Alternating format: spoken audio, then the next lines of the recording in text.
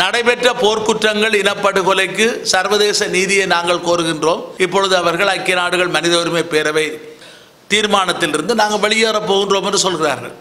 ஆகவே நாங்கள் இள தமிழ் மக்களை பொறுத்தளவிலே ஐக்கிய நாடுகள் மனித உரிமை பேரவை ரெண்டு ஆண்டுகள் ரெண்டு ஆண்டுகள் என்று கால நீடிப்பை வழங்கி பெற்றுக் கொடுத்தது தமிழ் தேசிய கூட்டமைப்பு.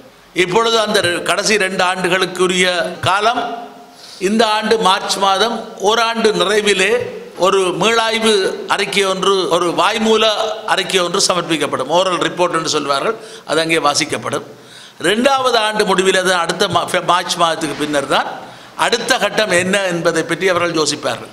ஆகவே நாங்கள் அழுத்தங்களை கொடுத்து அடுத்த கட்டமாக ஐக்கிய நாடுகள் பொதுச்சபைக்கு ஊடாக பாதுகாப்பு சபைக்கு ஊடாக கொண்டு சென்று சர்வதேச குற்றவியல் நீதிமன்றத்துக்கு இன்டர்நேஷனல் கிரிமினல் கோர்ட்டுக்கு கொண்டு செல்வதை நாங்கள் உறுதிப்படுத்த வேண்டும். அதன் மூலம்தான் பாதிக்கப்பட்ட எங்களுடைய இனத்துக்கு எங்களுடைய மக்களுக்கு நீதியையும் அதே போல் அவர்களுக்கான அந்த நிவாரணங்களையும் உதவிகளையும் மற்றது ஒரு அரசியல் தீர்வையும் பெற முடியும். அந்த அரசியல் தீர்வு என்பது இன்றைய ஆட்சியாளர்கள் நூறு நாட்களுக்குள்ளே இந்த நடவடிக்கையும் எடுப்பதாக தெரியவில்லை. சரி அப்படி இல்லை என்றால் கூட இவர்கள் இழுபட்டு கொண்டு போகின்ற சந்தர்ப்பத்திலே நாங்கள் அரசியல் தீர்வுக்காக ஐக்கிய நாடுகள் சபையினுடைய தலையீட்டை கோரி ஐக்கிய நாடுகள் சபையினுடைய மேற்பார்வையிலே வடக்கு கிழக்கு பிராந்தியத்திலே ஒரு சர்வஜன வாக்கெடுப்பை பொதுசன வாக்கெடுப்பை நடத்துமாறு கோருவோம் என்பதை இலங்கை ஜனாதிபதிக்கும் ஆட்சியாளர்களுக்கும் நாங்கள் திட்டவட்டமாக தெரிவித்துக் கொள்ள விரும்புகிறோம்.